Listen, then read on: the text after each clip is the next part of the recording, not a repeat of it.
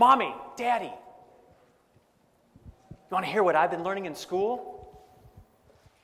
The sweet words of my then third grade daughter at dinner one night. Well, of course, sweetie. Tell us, what have you been learning? Well, we've been studying countries, and everybody gets a country, and I picked Thailand. And she began to tell us about the people and the culture of Thailand. And my five year old son was sitting right next to me. And he kept trying to interrupt. He had something important to say. We'd say, Colin, just hang on.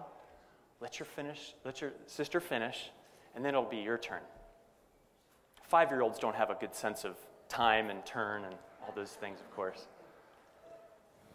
My daughter continued telling her story about the currency, the geography, the culture. At one point, my wise wife realized this boy is about to burst. So we've got to let a little bit of air out of the balloon.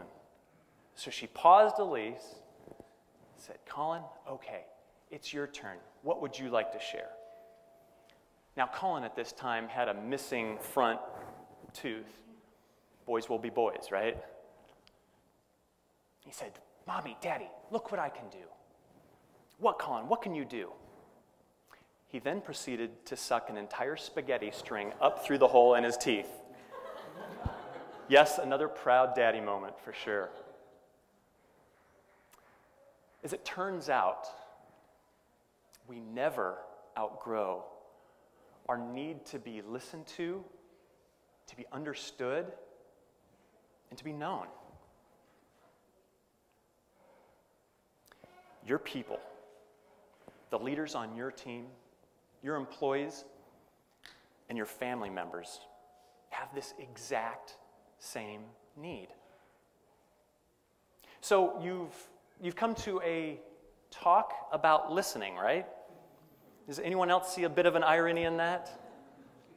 I mean, they call me a guest speaker after all. Um, be honest, would you have come if they had called me a guest listener? Probably not. You see, communicating, speaking in particular, is so an important part of our leadership culture, right? It's about speaking well, casting vision, motivating people around a common purpose. How important is listening in your leadership? Okay, I want to do a quick poll with you. Keep the answer to yourself for a moment on a scale of 1 to 10, how good of a listener are you? So 1 is an excellent listener, or 10 is an excellent listener. 1 is a very poor listener. Get the score in your head. Now, when you've got that, I'd like you to take 10 seconds and share that with two people and get the, the scores from two other people back, and then add those three scores up your, in your mind and hold that for a moment. Ready, go.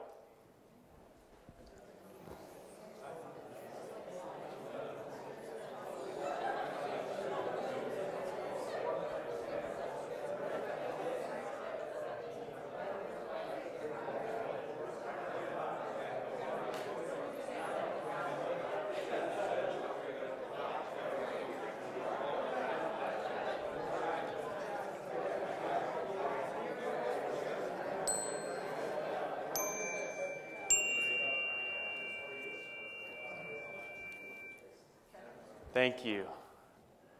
Rick, take the average.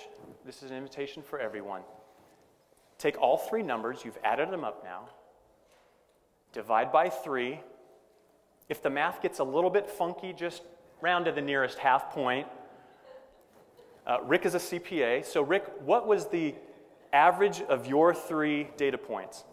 Seven. Thank you. Over here, what was your three? Average of four. Welcome, you're in the right place. That's awesome. Over here at this table. 5.5. 5.5. Okay, over here? Six. Back of the bus. Four. Four. A seven? Okay, back here. A four. Six. Over here? Someone else? Five. Five. Okay. Well, sounds like on average, Rick, have you done the math? Sounds like about an average group. High achievers at your table. Rick, your table, I think, uh, confirms five decades of research. Nearly everyone in North America believes they're an above average listener, right? Isn't that how this thing sort of goes sometimes?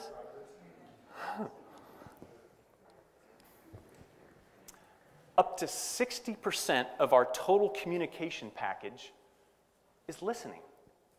Now, that might be plus or minus for your particular situation. I'd like you to imagine every time you have a conversation with someone, they're filling up cupfuls of meaning. And in that conversation, certainly not every conversation, where's the report? Why is it late?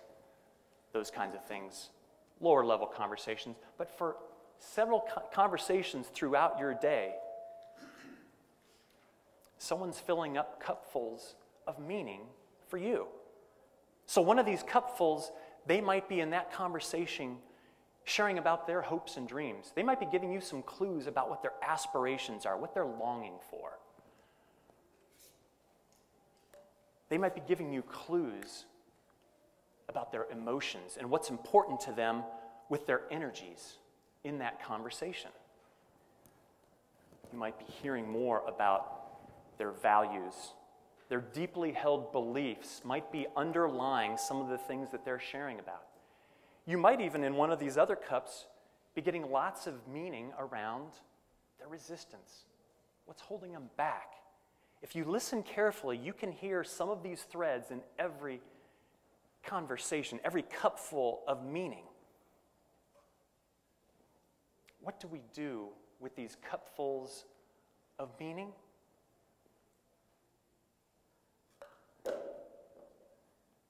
We drop 75% of the meaning in our conversations. Is that crazy? But it was never meant to be like that. We can do better. For our team's sake, for our family's sake, we can do better.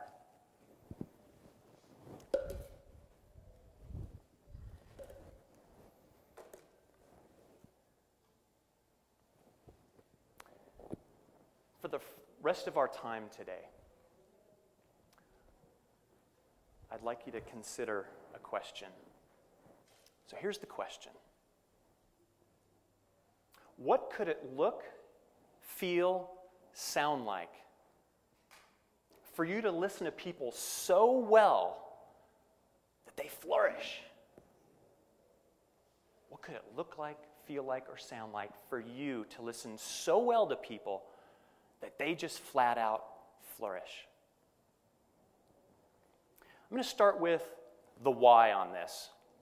We know that that is really the most important because at the, at the center of this whole venture of listening, of extravagant listening, it's a heart issue. It's a question of motive and intent. It's a question of the will. So, we're going to spend a lot of time around the why. We're going to look at some biblical examples. We're going to move into some of the research around it. And then we'll move into some of the how. I'll give you a few practical takeaways that you can take, take back.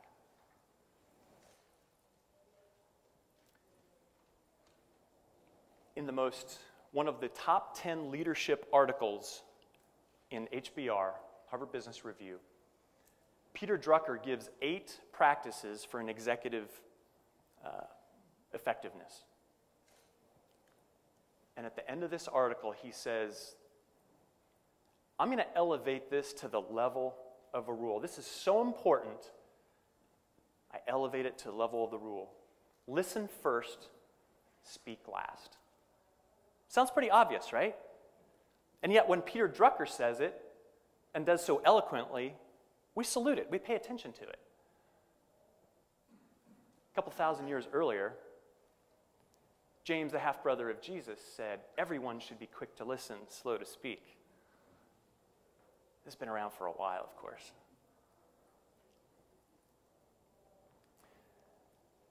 My, my proposition to you this afternoon is this every leader should empower others. Why? Because of three spheres of impact. Three spheres of impact. It's going to be personally, interpersonally, and organizationally. We'll get to those in a moment.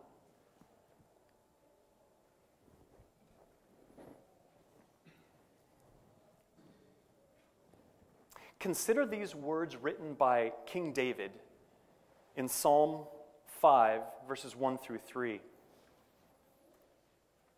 Listen to my words, Lord.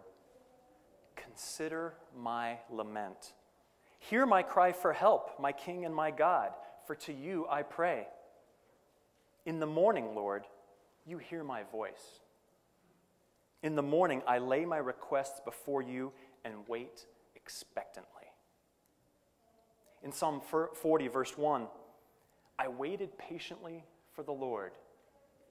He turned to me and heard my cry. We get this picture throughout Scripture of when God has a very intimate relationship with a person and a person with God. It's based on hearing of the five different senses, the verb forms of those senses taste, touch, hear, and, and so on. Uh, in the original languages, Hebrew and Greek, throughout Scripture, it turns out to hear or to listen shows up 49% of the time of those five senses. Hearing is a big deal to God and relationship, a deep, resonant, intimate relationship with God, seems to be very heavily based on listening to one another, man to God and God to man. In Solomon's prayer for dedication for the temple after he had finished building it, in Second Chronicles chapter 6, 12 times in that chapter alone, he pleads with God to listen to Israel when he knows that they're going to go astray in the future. And just for good measure, at the end of that chapter, he says, Turn your ear to us, O Lord. By contrast, when Israel is going astray from God, here's what this looks like in terms of listening language Amos 5, verses 22 and 23. Even though you bring me burnt offerings and grain offerings. I will not accept them. Though you bring choice fellowship offerings, I will have no regard for them. Away with the noise of your songs. I will not listen to the music of your harps. He goes on to say in Amos chapter 8, verse 11, The days are coming, declares the sovereign Lord, when I will send a famine through the land. Not a famine of food or a thirst for water, but a famine of hearing the words of the Lord. We have gr- pictures of great intimacy with God through listening. And when there's enough rebelliousness towards God, and humans have broken off that relationship, God breaks off the, the, that hearing relationship as well. Let's turn to the New Testament. Mark chapter 12. It's a great picture of the two great commandments, right? The, uh, someone that comes up and asks Jesus, what are the two, What's the greatest commandment? And what does he say? Somebody knows it. What does he say? Yes, yes, exactly. And that's where we get the first two commandments. Something that we often skip over in that is that he's actually quoting Israel's oldest and dearest prayer called the Shema. Shema Yisrael, hear, O Israel. So Jesus actually starts the greatest commandment with hear. What's the greatest commandment? Hear, O Israel, the Lord our God, the Lord is one. Love the Lord your God with all your heart and soul, mind, and strength. Love your neighbor as yourself is the second commandment. Here is throughout entire Scripture. Luke chapter 8, verse 8. Whoever has ears, let them hear. Verse 18, Jesus says, Consider carefully how you listen. Verse 21, there's this question that pops up around who are my brothers and sisters? You know, they're, they're, they're waiting out for you, Jesus. Come, come check them out. And he asked, Who are they? He said, He replied, My mothers and brothers are those who hear, those who hear God's word and put it into practice. And then in the Transfiguration, Luke chapter 9, it's in all three synoptic gospels, but in verse 35, there's this voice from heaven. Across those three gospels, there's a little bit of variance as to what is emphasized by each of those gospel writers. Voice from the cloud. A voice came from the cloud saying, This is my son, whom I have chosen. Now, Matthew and John say, Whom I love. Uh, but all three of them say this to end it This is my son, whom I have chosen. Listen to him. Now, doesn't it seem reasonable? There's a lot of things God could have said at that point about Jesus. Follow him. That would have been a very reasonable thing for God to say. Trust him, believe in him, follow his example. I just find it very interesting that God, the voice from heaven at that particular point, chooses to say, listen to him. Back to the proposition. Every leader should empower others with extravagant listening.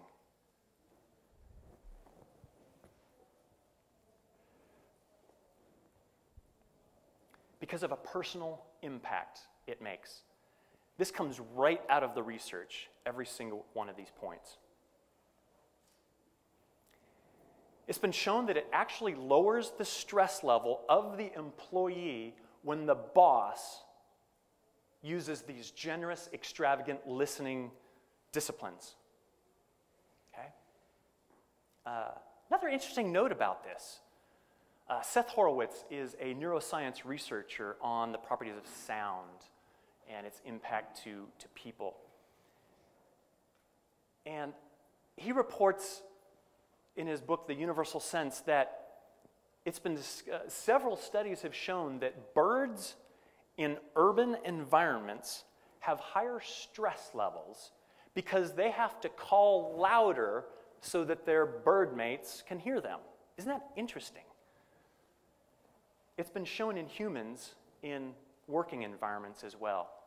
When the boss doesn't listen, doesn't show that they really connect and listen, stress levels go up for humans.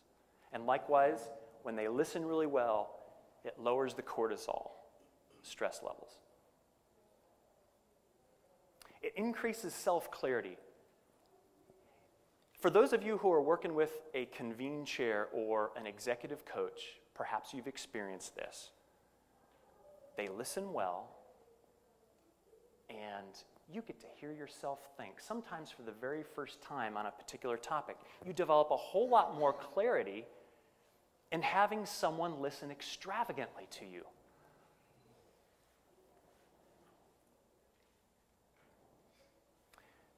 Research also shows that it increases personal agency. I went through this with my daughter. She said, Yeah, this, I, I, this looks good. I don't know what personal agency is, though. It's the ability to get stuff done. You can flat get stuff done. I had a life changing experience. September 19th, 2012, that will forever stay in my memory and has forever changed how I engage the world. I was listened to generously.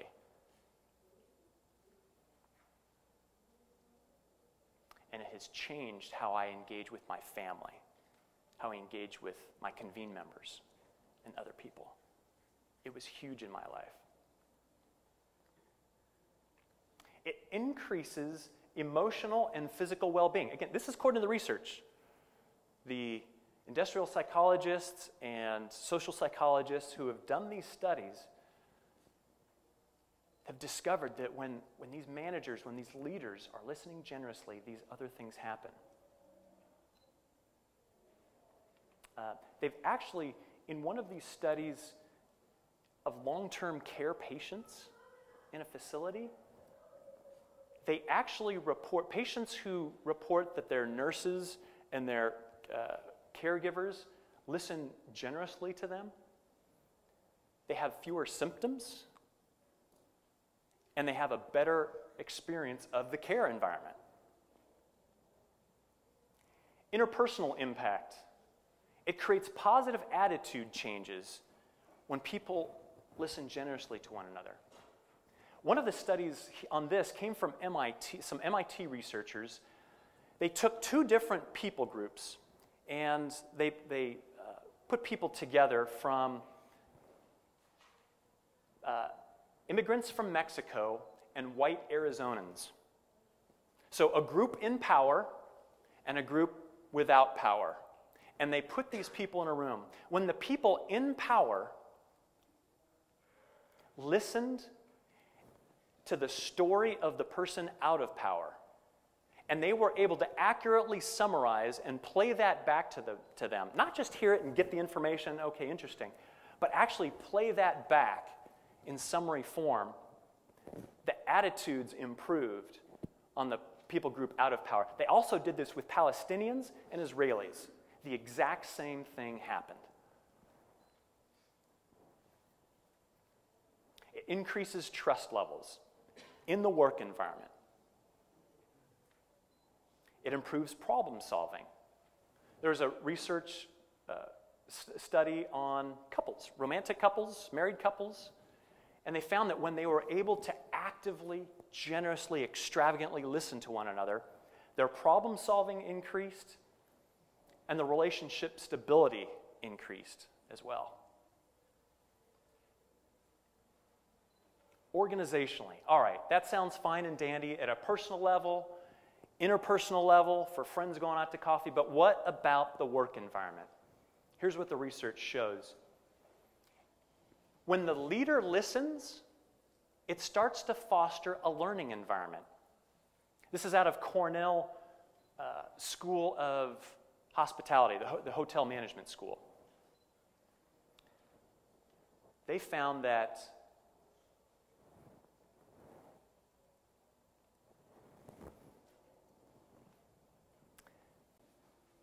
it facilitates greater execution when people are in learning mode.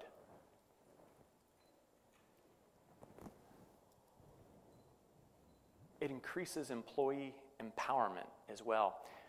A CEO friend of mine called me up several months ago, and in that conversation, he said, Todd, my people just aren't listening to me.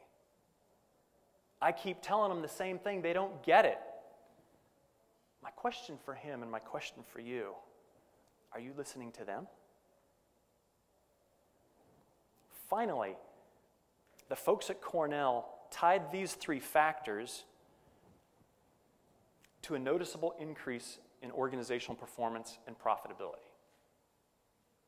And those of us who are we're learning about servant leadership and we're immersed in that worldview from a faith perspective, certainly, It starts with the heart, right? Yeah, profit's important. Got to have profit. And there's so many other wonderful reasons to engage this as well. Okay. You ready to put this into practice? All right. Let's try this out. Got a movie clip for you here. Short video clip. This is from the movie Still Alice with Julianne Moore. So we've got a short scene with, with Julianne Moore and her daughter. Julianne Moore is in the, in the story, she is a professor of linguistics at Columbia University. It's a very cerebral family. This one daughter wants to be an actor, an actress. And she goes off and she does that. And so there's this little bit of a weird dynamic that develops in the beginning of the movie around her desire to go off and be an actress and not go to college. Right? This is like heresy in this family. So there's a little bit of a rift there. This is later in the movie. Julianne Moore has been diagnosed with Alzheimer's, early onset Alzheimer's, and she is starting to feel the effects of this disease. And here's the conversation that takes place between the two of them while they're out on vacation. I want you to pay attention to the conversation. Listen to the feelings, the emotions of what's going on for Julianne Moore, the mom, as she speaks to her daughter. And then pay attention to what does the daughter do well in this conversation. Okay? All right. There's going to be a quiz.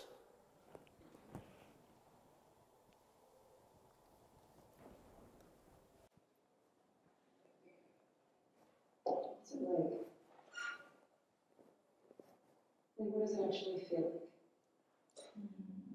Well, it's not always the same. I have, uh, I have good days, bad days, and on my good days, I can, you know, almost pass for a normal person. On my bad days, I feel like I can't find myself. Um, I've always been so defined by my intellect, my language, my articulation, and now sometimes I can see the words hanging in front of me and I can't reach them and I don't know who I am and, and I don't know what I'm going to lose next.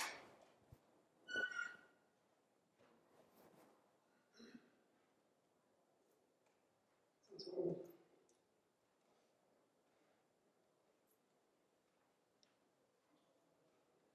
Thanks for asking.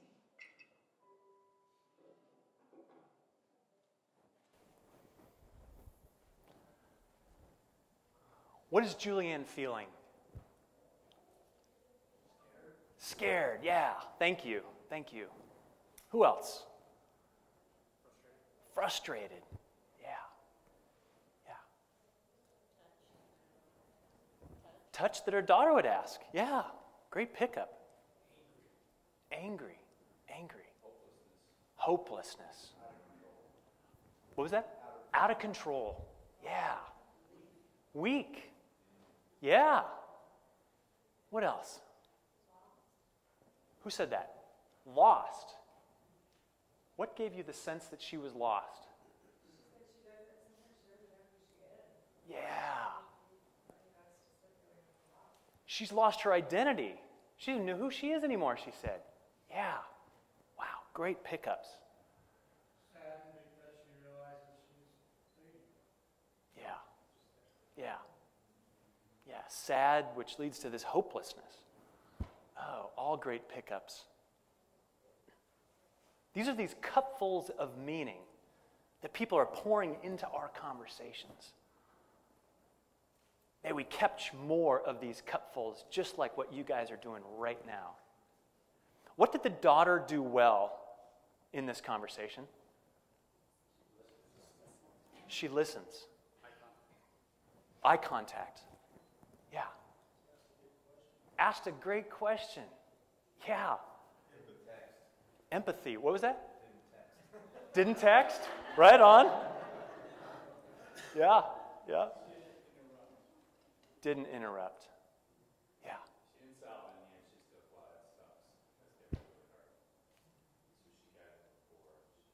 Yeah. Yeah, didn't solve problems.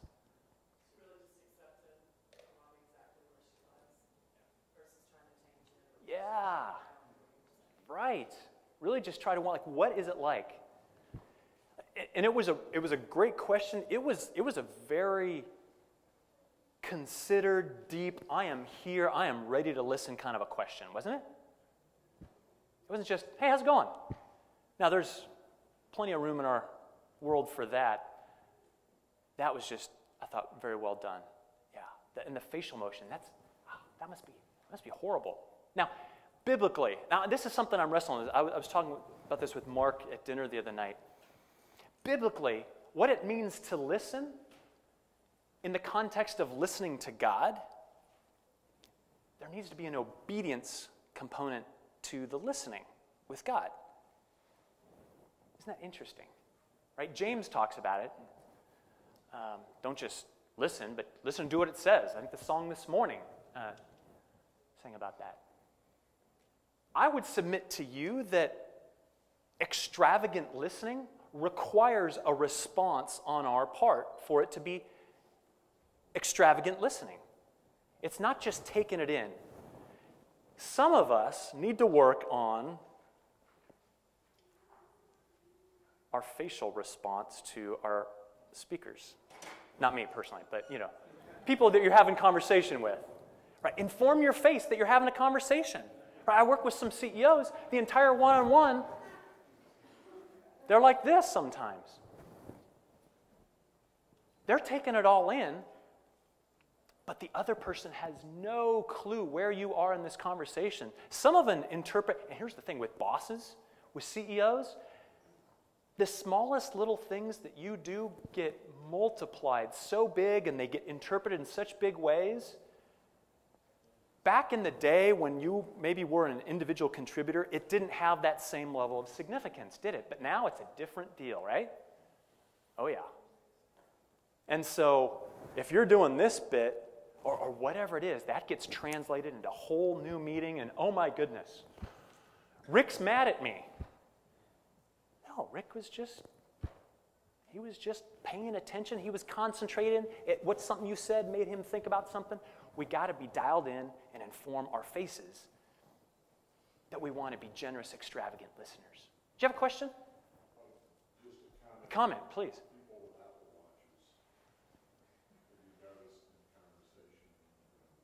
Ah, yeah.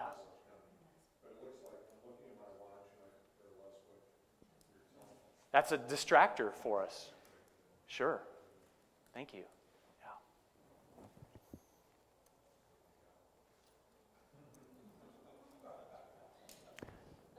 I couldn't keep it to 10, so I'm giving you a top 12 list of extravagant listening.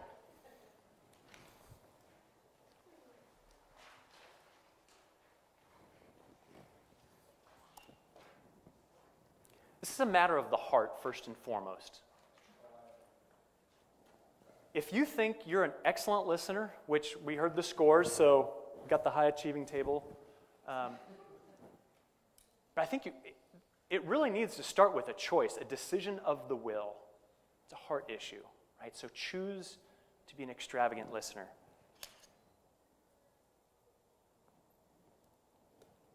Create structure to help you. Here's an example.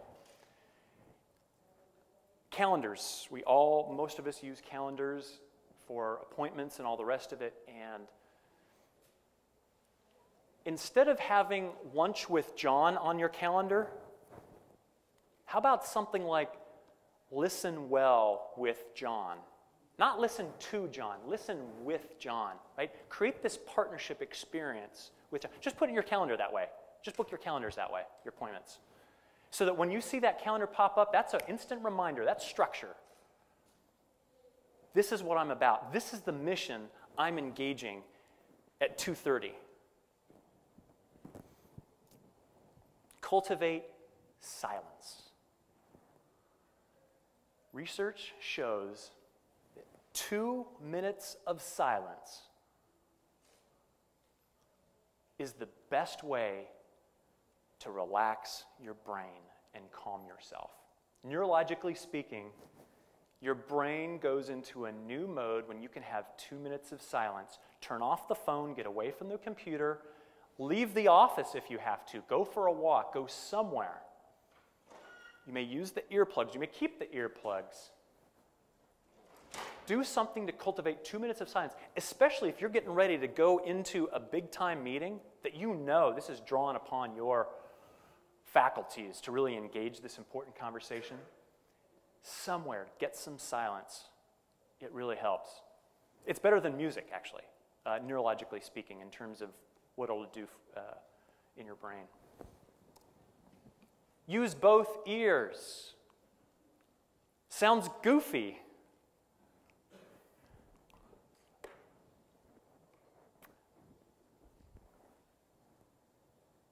Neurologically, you all are probably familiar with we have one hemisphere or the other that's dominant in our brain. Right hemisphere, left hemisphere. Left tends to deal with facts, logic, figures, things like that. The right tends to uh, deal, process more on you know, emotion and meaning and subtleties and nuances, things like that. The right, the right hemisphere in our brain controls the faculties on the left side of our body. It processes information from our ears, processes information from our, from our left ear, from our, our left eye, and uh, uh, works with our left hand as well. The opposite is true as well. Left brain deals with input from the right ear, the right eye, and so on. Now, I've gone through a brain profile, as uh, some of our members in our group have, and under stress, your non dominant hemisphere is going to be in a severely degraded mode, and it's not going to be able to process information nearly as well. It's like it's gone for the most part. So, the bad news for me, because I'm right handed and right brained, if my uh, under, under severe stress, I'll still be able to hear you. I'll still be able to see what's going on because my right brain is still functioning well. However, my right hand is going to not be nearly as dexterous. So I make a lousy Navy SEAL because I'm not going to be able to take care of the crisis in the moment with my right hand because I'm right handed. So, what are the implications for leadership? If you are using one of these,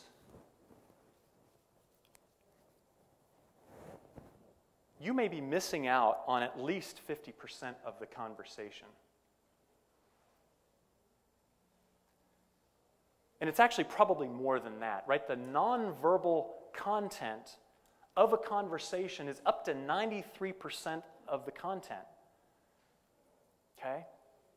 So, if you've got the earpiece in the wrong ear, you're not hearing any of the emotional content. You're just hearing the facts and figures, and this sounds really confusing, and I can't talk to this person anymore. If you have it on, you know, maybe the other ear and you're getting all emotion, uh, that can cloud the picture as well. Uh, I shared this information with a good friend of mine uh, a, a, while ago, and, uh, and he shared it with some, some uh, people that he works with, that he coaches. And the people came back and said, Oh my goodness, my wife, in this one case, my wife is deaf in one ear. And every she's just so emotional and uh, because all she's hearing is the emotional content of the conversation and it just builds up and we get this amygdala hijack right this this uh, emotion center in our brain gets flooded with chemicals and it can't deal. It's checked out, and the, the higher level executive functions in our brain are shutting back down. And it's just in a fight, flight, or freeze mode at that point, and the conversation cannot continue. So, you are missing a lot of the conversation when you're using this. I'd strongly recommend that you chuck this. For my coaching conversations, I've, uh, when I, my coaching over the phone, I've had a one headset piece for years. When I read this research, I changed out the headset, got two ears, and oh my goodness. The sound goes from here to feeling like it's coming, emanating right from the middle of my brain. It's so cool. I hear these people in high def. Uh, it's an important consideration for you. Set a listening goal for conversation. Be intentional. This particular conversation, not conversation in general, a particular conversation. Now, our wills, our willpower, is really good at sort of big decisions like should we move? Should we start a business? Should we have kids? Where to go to college?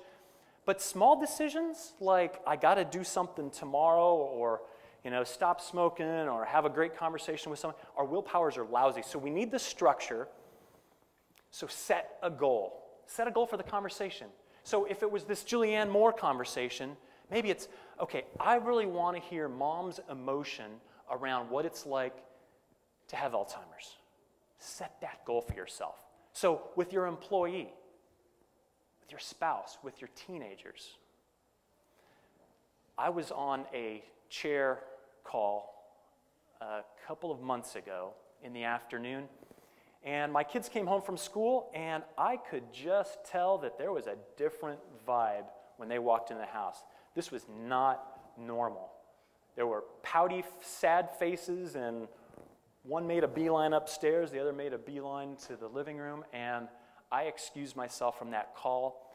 I went and sat with my daughter on the couch, and I spent about a minute, a full minute, just tuning in to what's her body language right now before I say a thing and like blow it all, right? You guys been there with your teenagers? And so I read this and I gently said, You look sad. And she said, Yeah. And she started telling me all about what went on in the conversation in the car ride on the way home from school with her brother. And we spent the next hour and a half in sweet daddy daughter conversation time. Set a listening goal for your conversations. Pray. Pray. Invite the Holy Spirit alongside. This is what the Holy Spirit does. He helps us to hear what we need to hear from God and from other people.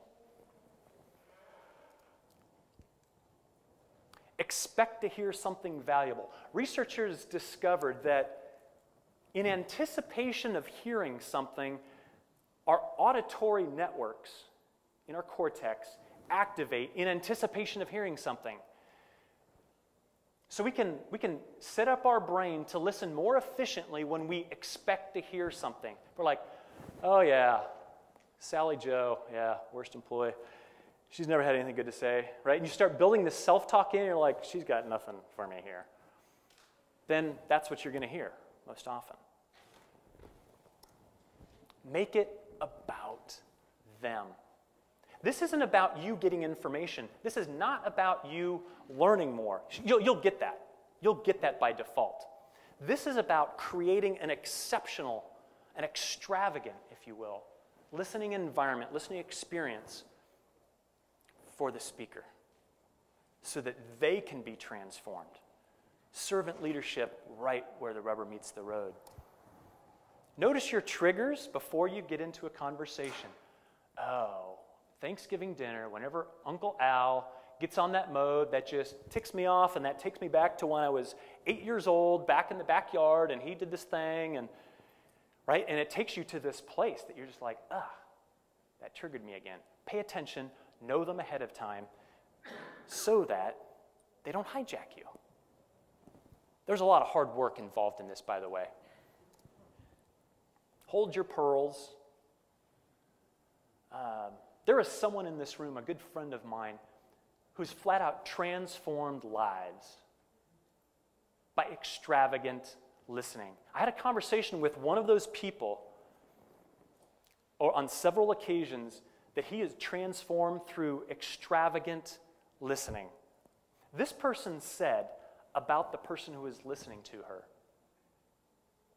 It has flat changed my life.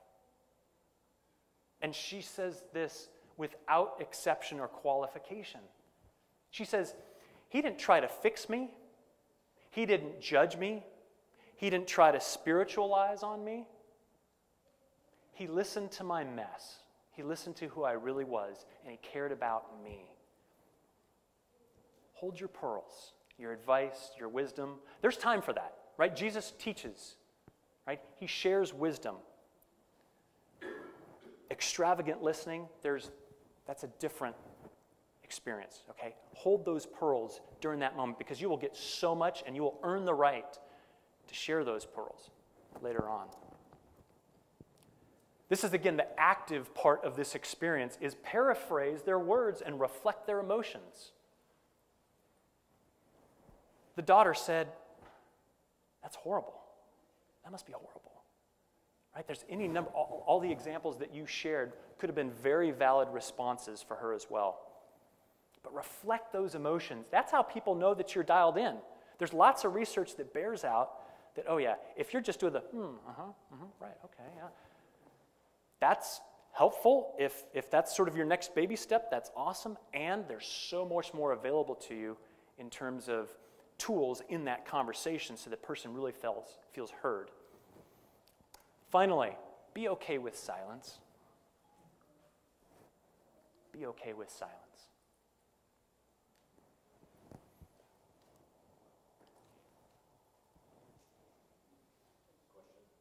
Yeah.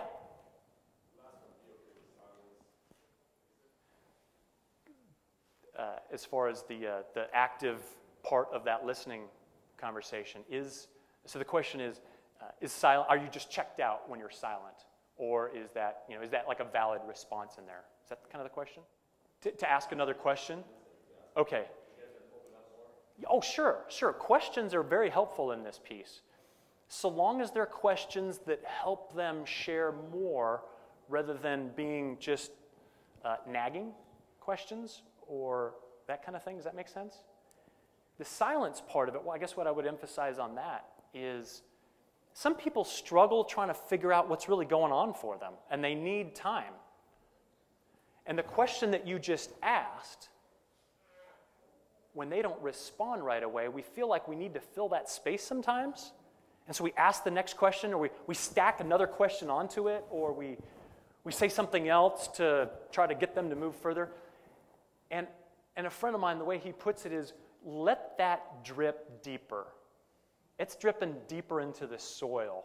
So let that get there, and it'll come back up and they'll be able to give you a thoughtful response sometimes, oftentimes. So be okay with silence.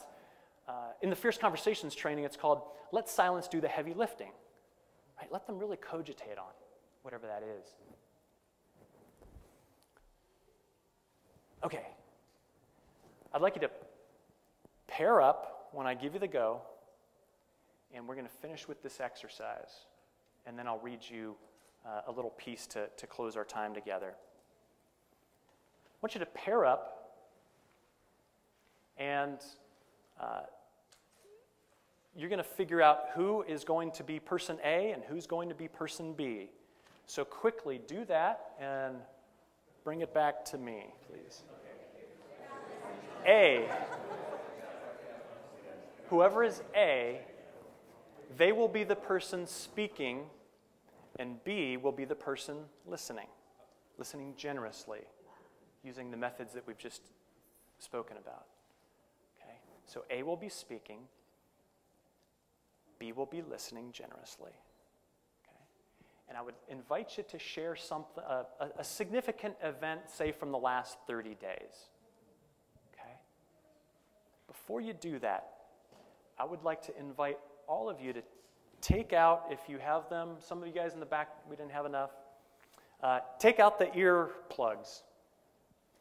This is optional, but I invite you to put in the earplugs and let's experience a moment of silence.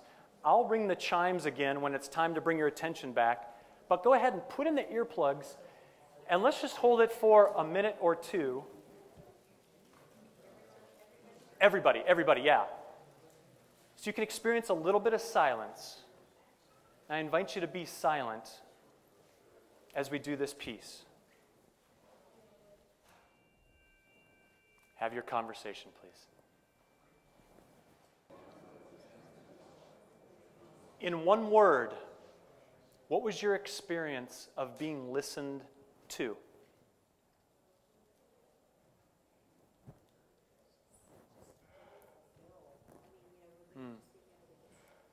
Relieved, fulfilled. Thank you. Thank you. Connectivity. Connectivity. Thank you. Thank you. Appreciated. Validated. Appreciated. Valued. Valued. Yeah. Concerned. Concerned. Yeah. I'm talking to a chair over here, and he, he wasn't trying to fix me, and I was talking about some air stuff. He was just. Hmm. Hmm. Really dialed in, listening. Thankfulness. Hmm. Yeah. Yeah. Thank you. Emotional connection. Sweet. Yeah. Encouraged. Thank you. Admired. All right. Cool. Comfortable. Comfortable. Important. Important. Wow. You guys doing a great job. Thank you. Wish we had more time to reciprocate, go through that. Only half of you are going out feeling great about it.